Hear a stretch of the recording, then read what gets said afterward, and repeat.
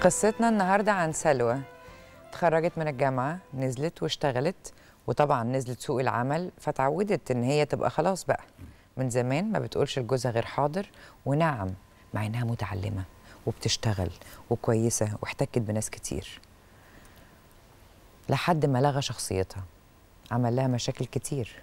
سلوى وهي مخطوبة كانت بتخاف على زعله بتخاف إن الموضوع يبوظ لدرجة إنه في مرة زقها في الشارع رمالها ورق شغلها عشان شاف زميلها في الشغل بيسألها على الساعة كام. فضلت المعاملة دي بعد الجواز ها كملت. بس هي كانت بتخاف تحكي لأهلها. فبقى كل شوية يقول لها إيه هطلقك هسيبك هاخد منك العيال. فمرة حكم عليها إن هي آه، تجيب جزمته وتضرب نفسها بيها عشان ترضيه. عاشت معاه ذل ومهانة. بقت بقى إيه حماتها بتتدخل في حياتها وبتحاول دايما انها توقع بينها وبين جوزها. بس مع الوقت سلوى اتعلمت هي تتجرأ تجمد على جوزها بعد ما فاض بيها ها؟ كانت النتيجة إن هو قال لها مش عايزك انت والعيال. سابها في بيت أهلها فترة كبيرة. أهلها غصبوها إن هي ترجع تاني عشان ولادها. رغم كده فضل مقاطع عيلتها بعد ما رجعوا. لحد ما باباها مات وهو غضبان عليه. فسلوى قطعت مامته.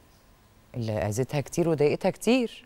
جوزها دلوقتي بيحاول يجبرها إنها تزور مامته وتودها. حطت معاملته لسلوى في كفة وإنها تروح تزور مامته في كفة تانية.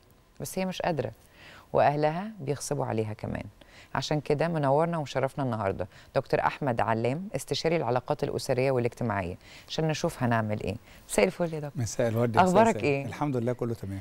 إيه رأيك في قصة النهارده؟ آه، قصة النهارده حطيت عليها طبعا سبوتات زي ما بعمل في القصص لما ببقى مع حضرتك. مم.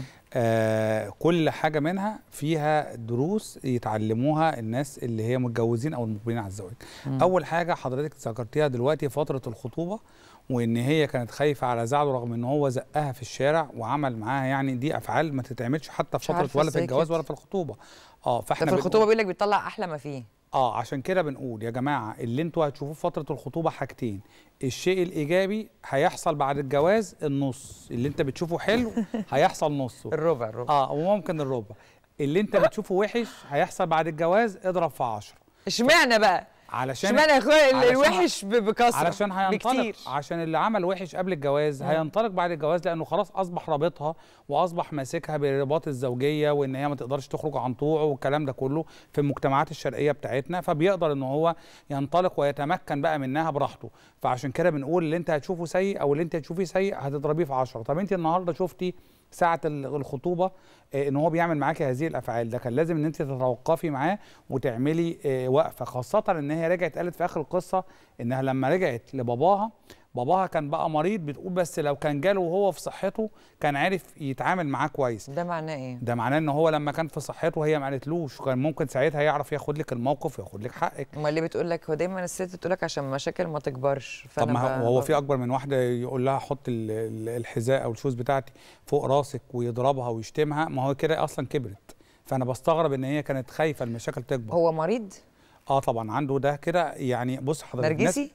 لا النرجسي حاجة تانية. النرجسي ما بقى؟ بيعملش كده ده أكتر من النرجسي. السادي والسادي إحنا هنا مش آه، محدش مؤذي بقى اللي هو آه سادية محدش. يقرضه بال... يقرنه فقط بالعلاقة الزوجية. لا السا... السادي هو شخص بيميل للسيطرة على الآخرين وإيذائهم وبيتلذذ بإيذاء الآخرين وبيتلذذ بإن هم يكونوا مذلولين قدامه ولو خرجوا عن طوعه أو خرجوا عن هذا الأمر هو ساعتها بي... زي ما تقول بيطلع... بيطلعهم بقى من هو معتقد إن دي جنته.